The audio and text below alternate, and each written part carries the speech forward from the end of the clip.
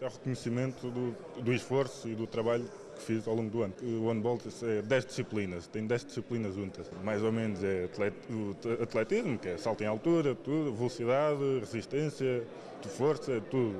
E nós tentamos trabalhar todas elas ao longo do ano para atingir este nosso resultado. Onde é que ambicionava jogar? Eh, o Copenhaga e o Kiel, uma equipa alemã.